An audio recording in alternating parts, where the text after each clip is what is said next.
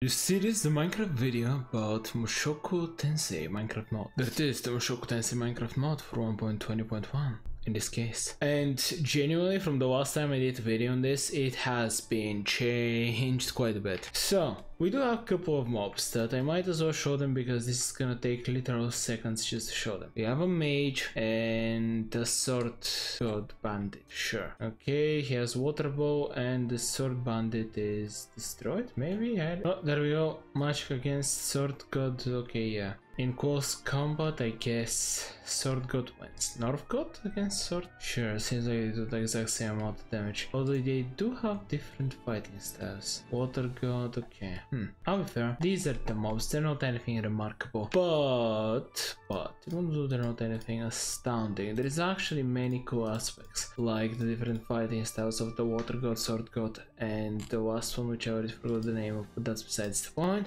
I'm also punching for incredible damage because a leveling up system has been added. You get skill points, you can get different skills, magic or sword combat. And actually there is also a combination of the two technically, but I will not get into detail because the mod has expanded quite a lot. Uh, let's just use the bandit to test out some of the many spells that are here. You do really, really, really need to look at the keybinds before doing this though. First we have the basic water ball. Uh, did I do it properly? I think I did. Now, right button. There we go, water ball. It did literally zero damage, but it's also one of the weakest spells.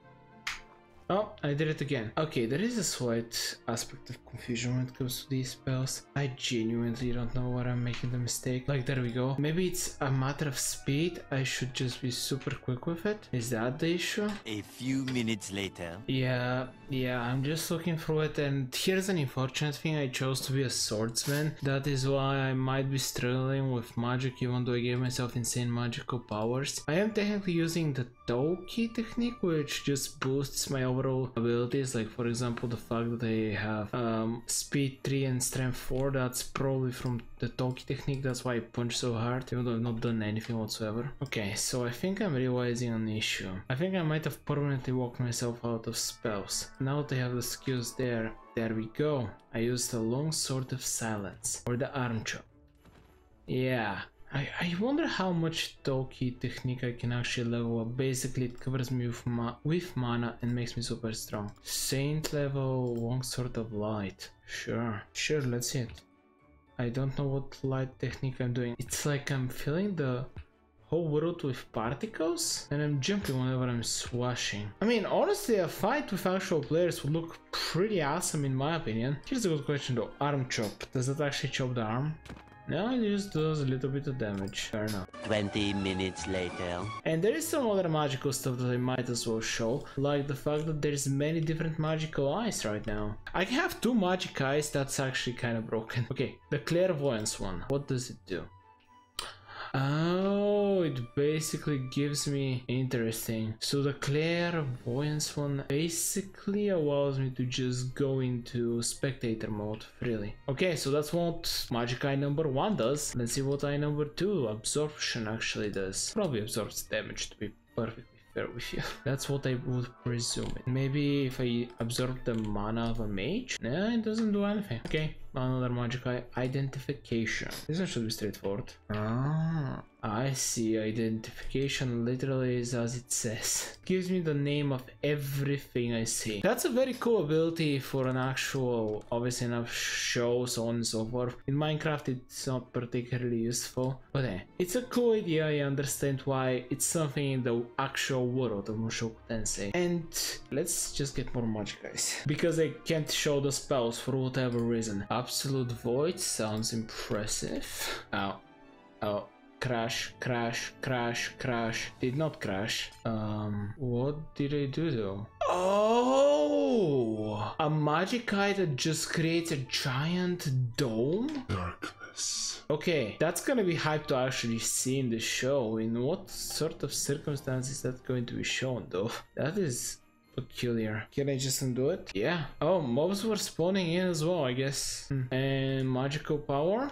Oh, that's neat. So it just shows me, yeah, it shows me the creatures glowing around me. I Maybe if there was a player, I would see how much they have as well. Maybe. But yeah, it just allows me to see just overall better. So there is no Eye of Future Sight. I believe the Demon Lord said that there was 13 magic eyes, so maybe not all have been added yet. I think it's pretty amazing. Yeah, this build has genuinely been updated a lot since the last time I played with it. Anyway though, uh, let's max out just my overall stats as a swordsman and see how powerful of a swordsman I can actually become. So, ability number one from the water god creates some water flow ready.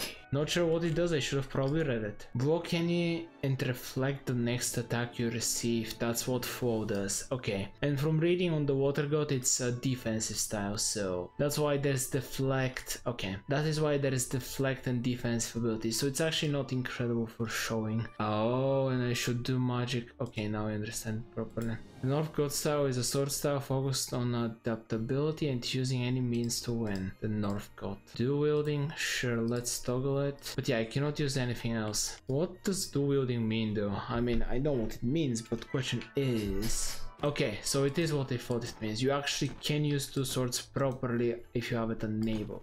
How much damage does the second one do?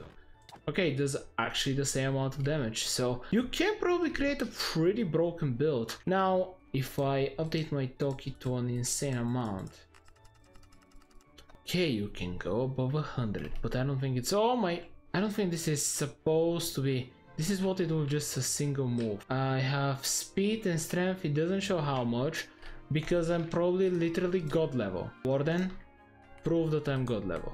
Punch. I took 4, okay, I did 310 damage. You know what? Sure.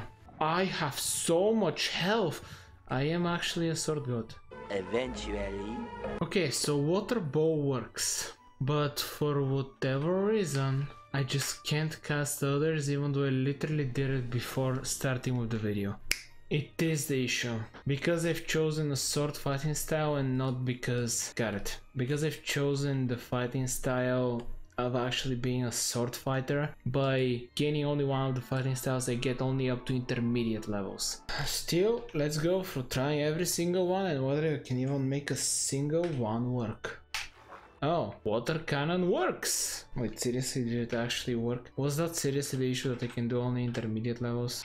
Yep, Although this one looks exactly like the water ball, so let's give it a try to another one. Ice pillar, now this one's definitely different. Okay, I can't make that one work. Do I need water to make it work? Ice glance? Okay, so that one did work. I definitely feel as if I'm missing something, but sure, I have the water element, can I do fire? That's not what I wanted to do, but irrelevant. You actually don't need the stuff in order to cast the spells, just supposedly it increases the power. Also, I, guess might as well just summon couple of these just to actually cast the spells onto entities, just to see their overall powers. Okay, Flame Slice worked. It didn't do much damage, but it did work. Once again, I should probably try the world with being a spellcaster. Okay. Huh, well that one worked as well and it burned everything. And last spell I can use from the fire element is Explosion. Oh, there was definitely an explosion sound but nothing happened. And the book that I do have, the spell book, just gives me the actual spells and that's that. Healing I will not bother looking into it, magic circle as well, there's a water mod. An enormous amount. Oh, here's Rudy's favorite element, Earth. At the very least, it is the one he loves using most after water. So, Earth, Rock Bullet, another, as I said, favorite spells. So Rock Bullet is exactly what you thought. Earth Wall, is this gonna work? wow, this one works exactly as you would think. Final intermediate level stuff. I definitely should probably just do another video where I look at this. So sure, this video was just a quick little dip into the mod, even though it took an hour. But hey, one thing I'm definitely understanding about the mod though it is most definitely not only is it very important what you choose whether you want to be a swordsman or a magician because clearly enough you have limited powers and twin pulse seems to just give me insane movement. Not that now the god it matters because I already have insane movement. But sure that's what wind does. So sonic boom if I were to use it just into the nothingness nothing happens.